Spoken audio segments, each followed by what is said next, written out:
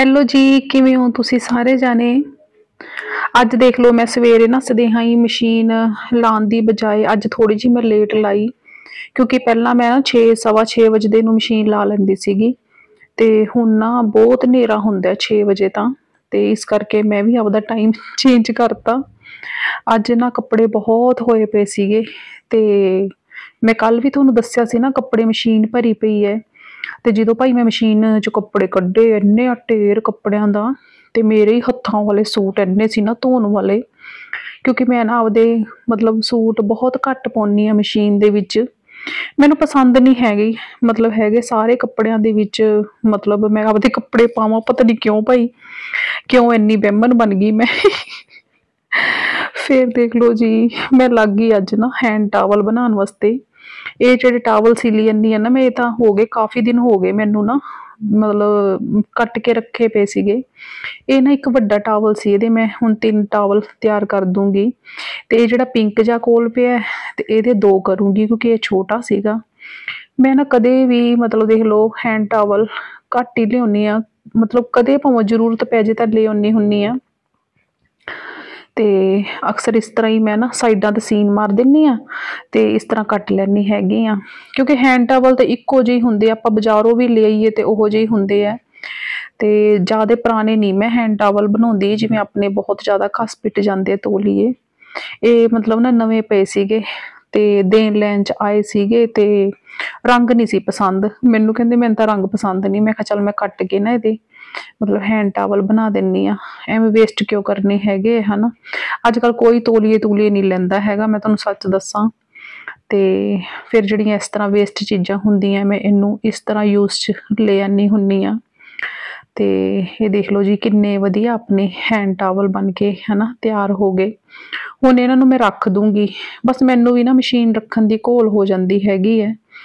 ਤੇ ਅੱਜ ਸਵੇਰੇ ਹੀ ਮੈਂ ਇਹਨਾਂ ਨੂੰ ਕਿਹਾ ਸੀਗਾ, ਅੱਜ ਮੇਰਾ ਮੈਂ ਕਿਹਾ ਮਸ਼ੀਨ ਦਾ ਕੰਮ ਜ਼ਰੂਰ ਕਰੂੰਗੀ, ਕਿਉਂਕਿ ਜਿਹੜਾ ਵੀ ਕੰਮ ਕਰਨਾ ਹੁੰਦਾ ਮੈਂ ਸਵੇਰੇ ਹੀ ਪਲਾਨ ਆਪਣੇ ਦਿਮਾਗ ਦੇ ਵਿੱਚ ਸੈੱਟ ਕਰ ਲੈਣੀ ਹੁੰਦੀ ਆ ਵੀ ਆਹ ਕੰਮ ਕਰਨਾ, ਉਹ ਕੰਮ ਕਰਨਾ ਫਿਰ ਸਪਿੱਟਾਂ ਤੇ ਕੰਮ ਸ਼ੁਰੂ ਕਰ ਦਿੰਨੇ ਫਿਰ ਇਹ ਨਾ ਮੇਰੇ ਦੂਸਰੇ ਬੈੱਡਰੂਮ ਦੀ ਚਾਦਰ ਹੈਗੀ, ਮੈਂ ਕਿਹਾ ਚਲ ਅਜੇ ਤੇ ਨਾ ਆਪਦੇ ਬੈੱਡ ਤੇ ਲਾਈਟ ਲਾਈਟ ਬਾਲੀਆਂ ਵਿਛਾਈ ਜਾਂਦੀ ਸੀ ਚਾਦਰਾਂ ਮੈਂ।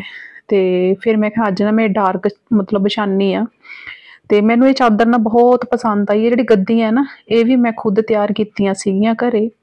ਫਿਰ ਉਸ ਤੋਂ ਬਾਅਦ ਜੀ ਦੇਖ ਲਓ, ਮੈਨੂੰ ਹੋ ਗਈ ਥਕਾਵਟ ਤੇ ਮੈਂ ਲੱਗ ਗਈ ਦਵਾਈ ਲੈਣ ਵਾਸਤੇ।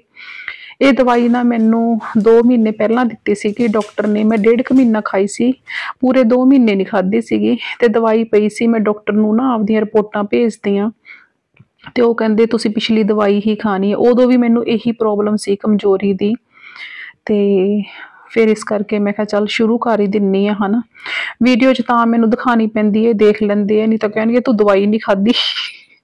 ਇਸ ਕਰਕੇ ਮੈਂ ਵੀਡੀਓ 'ਚ ਦਿਖਾ ਦਿੰਨੀ ਹੁੰਨੀ ਆ, ਫਿਰ ਇਹਨਾਂ ਨੂੰ ਦੱਸਣ ਦੀ ਲੋੜ ਨਹੀਂ ਪੈਂਦੀ। ਮੈਨੂੰ ਕਹਿੰਦੇ ਦਵਾਈ ਖਾ ਲਈ, ਮੈਂ ਕਿਹਾ ਹਾਂ, ਖਾ ਲਈ। ਕਹਿੰਦੇ ਮੈਨੂੰ ਤਾਂ ਨਹੀਂ ਯਕੀਨ ਤੂੰ ਦਵਾਈ ਖਾਧੀ ਹੈ ਤੇ ਮੈਂ ਕਿਹਾ ਦੇਖ ਲਓ ਵੀਡੀਓ ਫਿਰ ਵੀਡੀਓ 'ਚ ਦਿਖਾ ਦਿੰਨੀ ਹੈਗੀ, ਹਨਾ। ਕੰਮ ਕਿੰਨਾ ਸੌਖਾ ਹੋ ਜਾਂਦਾ ਵੀਡੀਓ ਦਾ। ਫਿਰ ਦੇਖ ਲਓ ਜੀ, ਚੌਲ ਕੱਲ ਲਿਆਂਦੇ ਸੀ ਮੈਂ, ਮਾਰਕੀਟ ਗਈ ਸੀ ਮੈਂ ਸ਼ਾਮ ਨੂੰ ਤੇ ਮੈਂ ਤੁਹਾਨੂੰ ਦੱਸਿਆ ਨਹੀਂ ਮੈਂ ਸੁੰਘ ਕੇ ਦੇਖਦੀ ਹੁੰਨੀ ਵੀ ਬਾਸਮਤੀ ਦਿੱਤੀ ਹੈ ਕਿ ਮੋੜ ਕੇ ਆਵਾਂ। ਤਾਂ ਹੀ ਮੈਂ ਚੀਜ਼ ਨਾ ਥੋੜੀ ਲਿਆਉਣੀ ਹੁੰਨੀ ਜਿਹੜੀ ਮੈਂ ਕਹਿੰਨੀ ਆ ਜੇ ਉਹ ਨਾ ਚੀਜ਼ ਦਿੱਤੀ ਨਾ, ਮੈਂ ਵਾਪਸ ਕਰ ਆਨੀ ਹੁੰਨੀ ਆ ਦੁਕਾਨਦਾਰ ਦੁਕਾਨਦਾਰ ਨੂੰ ਵੀ ਨਾ ਪਤਾ ਹੈਗਾ ਵੀ ਇਹ ਚੀਜ਼ ਮੋੜ ਜੂਗੀ। ਪਹਿਲਾਂ ਮੈਂ ਚੈੱਕ ਕਰਦੀ ਹੁੰਨੀ ਆ ਫਿਰ ਇਹ ਉਦੋਂ ਦਾ ਨਾ ਸਮਾਨ ਪਿਆ ਸੀਗਾ, ਰਸ, ਨਮਕੀਨ, ਬਿਸਕੁਟ ਵਗੈਰਾ। ਤੇ ਉਹ ਵੀ ਲਫਾਫਿਆਂ 'ਚ ਪਏ ਸੀ, ਕਿਉਂਕਿ ਜਿਹੜੇ ਪਹਿਲਾਂ ਪਏ ਸੀਗੇ ਨਾ, ਮੈਂ ਕਿਹਾ ਪਹਿਲਾਂ ਉਹ ਯੂਜ਼ ਕਰ ਲਾਂ, ਫੇਰ ਦੁਬਾਰੇ ਨਵੇਂ ਸਿਰੇ ਤੋਂ ਭਰੂੰਗੀ ਸਾਰਾ ਸਮਾਨ ਮੈਂ। ਤੇ ਅੱਜ ਜੀ ਕੱਢ ਲਿਆ ਆਪਣਾ ਪਟਾਰਾ, ਪੀਪਾ, ਤੇ ਉਹਦੇ ਵਿੱਚ ਰੱਖ ਦੂੰਗੀ ਸਾਰਾ ਸਮਾਨ, ਹਨਾ। ਤੇ ਹੈ ਤਾਂ ਥੋੜਾ ਜਿਹਾ ਸੀ, ਜ਼ਿਆਦਾ ਨਹੀਂ ਸੀਗਾ। ਪਹਿਲਾਂ ਮੈਂ ਪੈਕਟ ਲਏ ਸੀ ਨਾ, ਇੱਥੋਂ ਜਿਹੜੇ ਪੈਕਟਾਂ ਵਾਲੇ ਹੁੰਦਾ ਹੁੰਦਾ ਭਾਈ, ਤੇ ਉਹਦੇ ਕੋਲੋਂ ਮੈਂ ਸੋਚਿਆ ਸੀ, ਮੈਂ ਕਿਹਾ ਨਹੀਂ, ਆ- ਐਤਕੀ ਨਹੀਂ ਇਹਦੇ ਕੋਲ ਲੈਣੇ ਹੈਗੇ। ਐਤਕੀ ਮੈਂ ਇਸ ਤਰ੍ਹਾਂ ਜਿਹੜੇ ਬੇਕਰੀ ਵਾਲੇ ਹੁੰਦੇ ਨੇ, ਇਹ ਲਿਆਉਂਗੀ। ਸਾਰਾ ਦਿਨ ਪੈਕਟ 'ਚ ਵੀ ਖਾਣ ਨੂੰ ਹਨਾ ਜੀ ਨਹੀਂ ਕਰਦਾ, ਪੈਕਟ ਹੀ ਖੋਲਦਾ ਰਹਿ ਜਾਂਦਾ ਬੰਦਾ ਵੈਸੇ। ਤੇ ਇਹ ਹੈਗਾ ਹੈ ਪੇਠਾ। ਇਹ ਜਿਹੜਾ ਮੈਂ ਉਧਰ ਲੈ ਕੇ ਆਈ ਸੀ ਨਾ, ਇਹ ਉਹ ਪੇਠਾ ਹੈ। ਤੇ ਇਹਨੂੰ ਮੈਂ ਹੁਣ ਨਾ ਇਸ ਤਰ੍ਹਾਂ ਪੀਸ ਕੱਟ ਕੇ ਤੇ ਫ੍ਰਿਜ 'ਚ ਰੱਖ ਦੂੰਗੀ। ਇਹ ਵੱਡੇ ਵੱਡੇ ਸੀਗੇ ਬਾਲੇ ਪੀਸ ਤੇ ਮੈਂ ਨਾ ਇਸ ਤਰ੍ਹਾਂ ਕੱਟ ਕੇ ਰੱਖ ਦਿੰਨੀ ਹੁੰਨੀ ਆ ਕੋਈ ਵੀ ਚੀਜ਼ ਹੈ ਨਾ, ਮਤਲਬ ਵੱਡੀ ਜਾਂਦੀ ਹੈ ਤੇ ਜਿਹੜੀ ਕੱਟਣ ਵਾਲੀ ਉਹ ਮੈਂ ਕੱਟ ਕੇ ਇਸ ਤਰ੍ਹਾਂ ਰੱਖ ਦਿੰਨੀ ਹੈਗੀ ਆ ਜਿਵੇਂ ਮੱਖਣ ਹੋ ਗਿਆ, ਹਨਾ। ਤੇ ਘਿਓ ਤਾਂ ਨਹੀਂ ਕੱਟਿਆ ਜਾਂਦਾ, ਹਨਾ। ਘਿਓ ਨਹੀਂ ਕੱਟਿਆ ਜਾਂਦਾ। ਜਿਹੜੀ ਕੱਟਣ ਵਾਲੀ ਚੀਜ਼ ਉਹ ਬਸ ਮੈਂ ਕੱਟ ਕੇ ਇਸ ਤਰ੍ਹਾਂ ਰੱਖ ਦਿੰਦੀ ਹੁੰਦੀ ਆ ਹਨਾ, ਖਾਣ ਵਾਲੀ। ਕਈ ਵਾਰ ਨਾ ਮਠਿਆਈ ਦੇ ਪੀਸ ਬਾਹਲੇ ਵੱਡੇ ਹੁੰਦੇ ਆ। ਤੇ ਫਿਰ ਨਾ ਇੱਕ ਚੱਕੋ ਨਾ ਇਸ ਤਰ੍ਹਾਂ ਬੰਦਾ ਸੋਚਦਾ ਹੀ ਰਹਿ ਜਾਂਦਾ, ਚਲ ਛੱਡ ਪਰੇ ਝੂਠਾ ਹੋ ਜਾਊਗਾ ਹਨਾ। ਤੇ ਮੈਂ ਇਸ ਤਰ੍ਹਾਂ ਹੀ ਬਸ ਕੱਟ ਕੇ ਰੱਖ ਦਿੰਦੀ ਹੁੰਦੀ ਆ, ਦੇਖ ਲਓ ਜੀ, ਪੇਠਾ ਕੱਟਿਆ ਗਿਆ, ਹਨਾ। ਇਸ ਤਰ੍ਹਾਂ ਬਾਟੀ 'ਚ ਪਾ ਕੇ ਰੱਖ ਦੂੰਗੀ। ਜਦੋਂ ਜੀ ਕੀਤਾ, ਪੇਠੇ ਦਾ ਪੀਸ ਚੱਕੋ ਤੇ ਖਾਓ ਮਜ਼ੇ ਨਾਲ, ਹਨਾ, ਦੇਖ ਲਓ। ਇਹਦੇ ਨਾਲ ਟੇਸਟ 'ਚ ਵੀ ਬੜਾ ਫ਼ਰਕ ਪੈ ਜਾਂਦਾ ਹੈ। ਤੁਸੀਂ ਇੱਕ ਵਾਰੀ ਜ਼ਰੂਰ ਇਸ ਤਰ੍ਹਾਂ ਕੱਟ ਕੇ ਦੇਖਿਓ ਤੇ ਖਾ ਕੇ ਦੇਖਿਓ, ਹਨਾ। ਹੁਣ ਇਹਨੂੰ ਰੱਖ ਦੂੰਗੀ ਜੀ ਮੈਂ ਫ੍ਰਿਜ ਦੇ ਵਿੱਚ ਤੇ ਫਿਰ ਮਤਲਬ ਇਹਨਾਂ ਦਾ ਜਦੋਂ ਵੀ ਮਨ ਕਰਦਾ ਨਾ ਰੋਟੀ ਤੋਂ ਬਾਅਦ, ਮੈਨੂੰ ਕਹਿ ਦਿੰਦੇ ਆ ਮੇਰੇ ਹੱਥ ਗੰਦੇ ਹੋ ਜਾਣਗੇ। ਇਸ ਕਰਕੇ ਮੈਂ ਇਸ ਤਰ੍ਹਾਂ ਕੱਟ ਕੇ ਰੱਖ ਦਿੰਦੀ ਹਾਂ। ਦੇਖ ਲਓ ਜੀ ਟਾਵਲ ਲਗਾਤਾ ਮੈਂ, ਹਨਾ? ਜਿਹੜਾ ਹੁਣ ਤਿਆਰ ਕੀਤਾ ਸੀਗਾ ਤੇ ਪੇਠਾ ਕਟਿੰਗ ਕਰਕੇ ਰੱਖਤਾ ਜੀ ਫ੍ਰਿਜ ਦੇ ਵਿੱਚ ਫੀਲਿੰਗ ਲੈ ਰਹੀ ਹਾਂ, ਹਨਾ? ਪੇਠੇ ਦੀ ਮੈਂ। ਮੈਨੂੰ ਬੜਾ ਪਸੰਦ ਹੈ ਮਿੱਠਾ, ਤੁਹਾਨੂੰ ਮੈਂ ਸੱਚ ਦੱਸਾਂ ਕੰਟਰੋਲ ਨਹੀਂ ਹੁੰਦਾ ਮੇਰੇ ਤੋਂ।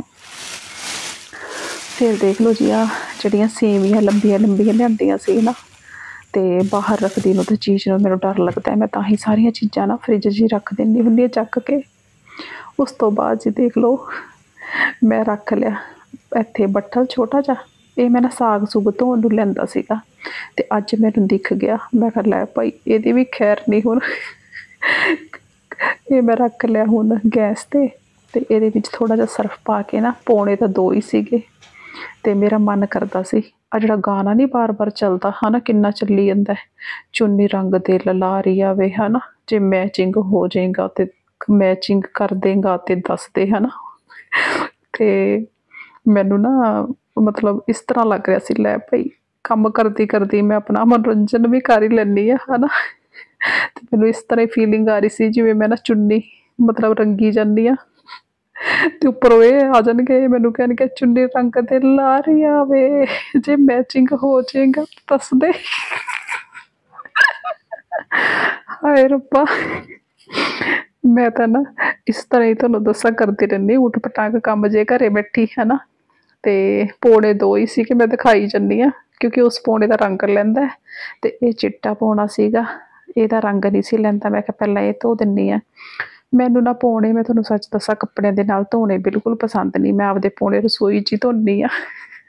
ਫਿਰ ਉਸ ਤੋਂ ਬਾਅਦ ਜੀ ਦੇਖ ਲਓ ਮੈਂ ਸਬਜ਼ੀ ਦਾ ਮਸਾਲਾ ਤਿਆਰ ਕਰਨ ਲੱਗ ਗਈ ਹੈ ਨਾ ਅੱਜ ਬਣਨਗੇ ਜੀ ਛੋਲੇ, ਚਿੱਟੇ ਛੋਲੇ, ਵਿੱਚ ਥੋੜੀ ਜੀ ਮੈਂ ਥੋੜੀ ਜੀ ਵਿੱਚ ਪਾਈ ਹੈ ਮੈਂ ਛੋਲਿਆਂ ਦੀ ਦਾਲ, ਹਾਂ। ਤੇ ਉਹ ਬਣਾਉਂਗੀ ਛੋਲਿਆਂ ਦੀ ਦਾਲ ਪਾਉਣ ਨਾਲ ਨਾ ਛੋਲੇ ਗਾੜੇ ਬਣ ਜਾਂਦੇ ਹੈਗੇ, ਇਸ ਕਰਕੇ ਮੈਂ ਥੋੜੀ ਜੀ ਪਾਈ ਹੈ, ਇੱਕ ਮੁੱਠੀ ਪਾਈ ਹੈ ਬਸ। ਤੇ ਇਹ ਫਿਰ ਦੇਖ ਲਓ ਜੀ, ਚੌਲ ਵੀ ਰੱਖੇ ਪਏ ਆ ਕੋਲ, ਹਨਾ, ਧੋ ਸਵਾਰ ਕੇ। ਲਸਣ ਦੀ ਇਕੱਠੀ ਜੀ ਹੈ ਨਾ ਜਿਹੜੀ ਤੁਹਾਨੂੰ ਤਾਂ ਦਿਖਾ ਰਹੀ ਆ ਇਹ ਸਾਡੇ ਸਤਸੰਗ ਕੀ ਹੈ ਨਾ, ਉਹ ਟਿਪ ਦੱਸਦੇ ਹੁੰਦੇ, ਬੜੀਆਂ ਚੰਗੀਆਂ। ਤੇ ਮੈਂ ਦੇਖਦੀ ਹੁੰਨੀ ਉਹਨਾਂ ਦੀ ਪੂਰੀ ਵੀਡੀਓ, ਤੋਂ ਦੱਸ ਦਿੰਦੇ ਹੁੰਦੇ ਆ ਸਕੀਮ ਵੀ ਬੜੇ ਆ। ਉਹ ਤੁਹਾਨੂੰ ਮੈਂ ਸੱਚ ਦੱਸਾਂ, ਕਈ ਵਾਰ ਆਪਾਂ ਵੀਡੀਓ ਪੂਰੀ ਨਹੀਂ ਨਾ ਦੇਖਦੇ, ਤੇ ਮੈਂ ਉਹਨਾਂ ਦੀ ਪੂਰੀ ਵੀਡੀਓ ਦੇਖਦੀ ਹਾਂ ਨਾ, ਉਹਦੇ 'ਚ ਮੈਨੂੰ ਟਿਪ ਮਿਲ ਜਾਂਦੇ ਆ, ਤਾਂ ਮੈਂ ਤੁਹਾਨੂੰ ਦੱਸ ਦਿੰਨੀ ਹੁੰਨੀ ਆ ਪਿਆਜ਼ ਨੂੰ ਹਨਾ ਆਪਾਂ ਛਿੱਲਦੇ ਆ ਪੱਖੇ ਥੱਲੇ ਬਹਿ ਕੇ ਤੇ ਉੱਡਣ ਲੱਗ ਜਾਂਦੇ ਛਿੱਲ ਕੇ ਤੇ ਇੱਕ ਵਾਰੀ ਧੋ ਲਓ ਕਹਿੰਦੇ ਪਿਆਜ਼ਾਂ ਨੂੰ ਵੀ ਤੇ ਲਸਣ ਨੂੰ ਵੀ ਤੇ ਮੈਂ ਉਸ ਤਰ੍ਹਾਂ ਹੀ ਕਰਨ ਲੱਗ ਗਈ ਦੇਖ ਲਓ। ਲਓ ਜੀ ਤੜਕਾ ਹੋ ਗਿਆ ਸਾਡਾ ਤਿਆਰ ਹਨਾ। ਫਿਰ ਹੁਣ ਸਬਜ਼ੀ ਬਣੀ ਪਈ ਹੈ ਤੇ ਸੀਮਾ ਰਾਣੀ ਆ ਚੁੱਕੀ ਹੈ। ਹੁਣ ਨਾ ਇਹਦੇ ਨਰਾਤੇ ਰੱਖੇ ਹੋਏ ਆ ਸੀਮਾ ਦੇ। ਲੋ ਜੀ ਸੀਮਾ ਨੂੰ ਦੇਖ ਲਓ ਤੁਸੀਂ ਕਿੰਨੀ ਸੋਹਣੀ ਲੱਗ ਰਹੀ ਹੈ। ਅੱਜ ਇਹਨੇ ਨਾ ਸਾਰੇ ਨਰਾਤੇ ਰੱਖੇ ਆ ਸੀਮਾ ਨੇ ਔਰ ਹਰੇਕ ਵਾਰੀ ਰੱਖਦੀ ਹੈ। ਤੇ ਮੈਂ ਅੱਜ ਇਹਨੂੰ ਕਹੀ ਜਾਂਦੀ ਸੀ ਮੈਂ ਕਿਹਾ ਅੱਜ ਤੇਰੀ ਸਪੈਸ਼ਲ ਵੀਡੀਓ ਬਣਾਉਂਗੀ। ਦੇਖ ਲਓ ਕਿੰਨੀ ਸੋਹਣੀ ਲੱਗ ਰਹੀ ਹੈ ਹਨਾ? ਤੇ ਮਾਂਗ ਭਰੀ ਹੋਈ ਹੈ ਰੈੱਡ ਬਿੰਦੀ ਹੈ। ਮੈਨੂੰ ਅੱਜ ਬਹੁਤ ਸੋਹਣੀ ਲੱਗ ਰਹੀ ਹੈ। ਮੈਂ ਕਿਹਾ ਇਹਦੀ ਸਪੈਸ਼ਲ ਵੀਡੀਓ ਬਣਾਉਂਗੀ। ਲੈ ਵੀ ਸੀਮਾ ਨਮਸਤੇ ਕਰਦੇ ਸਾਰਿਆਂ ਨੂੰ। ਅੱਜ ਨਾ ਇਹ ਬਹੁਤ ਸੋਹਣੀ ਲੱਗ ਰਹੀ ਸੀ। ਜਦੋਂ ਮੈਂ ਇਹਨੂੰ ਦੇਖਿਆ ਨਾ, ਤੇ ਮੈਂ ਕਿਹਾ, ਲੈ ਸੀਮਾ, ਤੇਰੀ ਵੀਡੀਓ ਬਣਾਉਣੀ ਆ, ਹਨਾ? ਮੈਂ ਤੇ ਖੁਸ਼ ਹੋ ਗਈ ਤੇ ਫਟਾਫਟ ਨਾ ਝਾੜੂ ਥੱਲੇ ਰੱਖਤਾ ਮੈਨੂੰ। ਮੈਂ ਕਿਹਾ, ਲੈ ਹੁਣ ਬੋਲ। ਕਹਿੰਦੀ, ਮੇਰੇ ਕੋ ਨਹੀਂ ਆਤਾ ਹੈ, ਹਨਾ? ਕਿੰਨਾ ਪਿਆਰਾ ਬੋਲਦੀ ਹੈ ਤੇ ਇਹ ਵੀ ਨਾ ਮੈਨੂੰ ਅੱਜ ਮਤਲਬ ਇਸ ਤਰ੍ਹਾਂ ਲੱਗ ਰਿਹਾ ਸੀਗਾ, ਜਿਵੇਂ ਨਾ ਕਹਿੰਦੇ ਨਾ, ਨਰਾਤੇ ਰੱਖੋ ਤੇ ਰੂਪ ਚੜ ਜਾਂਦਾ ਹੈ ਨਾ? ਜਿਵੇਂ ਆਪਾਂ ਕਹੀਏ ਨਾ, ਕਰਵਾ ਚੌਥ ਦਾ ਵਰਤ ਰੱਖੋ ਤੇ ਰੂਪ ਚੜ ਜਾਂਦਾ ਹੈ। ਤੇ ਇਹਨੂੰ ਇਸ ਤਰ੍ਹਾਂ ਰੂਪ ਚੜਿਆ ਪਿਆ ਸੀ, ਇਸ ਕਰਕੇ ਮੈਂ ਇਹਦੀ ਤਾਰੀਫ ਵੀ ਕਰਤੀ ਔਰ ਇਹਦੀ ਵੀਡੀਓ ਵੀ ਬਣਾਤੀ। ਮੇਰੀ ਆਦਤ ਹੈ, ਮੈਂ ਮੂੰਹ ਤੇ ਤਾਰੀਫ ਕਰ ਦਿੰਨੀ ਆ ਜਿਹਦੀ ਵੀ ਕਰਨੀ ਹੈ, ਜਿਹਦੀ ਬੁਰਾਈ ਕਰਨੀ ਉਹਦੀ ਉਹਦੀ ਨਾ ਬੁਰਾਈ ਵੀ ਮੈਂ ਮੂੰਹ ਤੇ ਕਰ ਦਿੰਨੀ ਆ ਭਾਵੇਂ ਅਗਲਾ ਕੋਈ ਗੁੱਸਾ ਹੀ ਕਰ ਜੇ, ਮੈਂ ਇਹਨਾਂ ਚੀਜ਼ਾਂ ਦੀ ਨਾ ਪ੍ਰਵਾਹ ਬਿਲਕੁਲ ਵੀ ਨਹੀਂ ਕਰਦੀ ਹੈਗੀ। ਤੇ ਸੱਚ ਹੀ ਬੋਲਣਾ ਚਾਹੀਦਾ ਹੈ ਨਾ।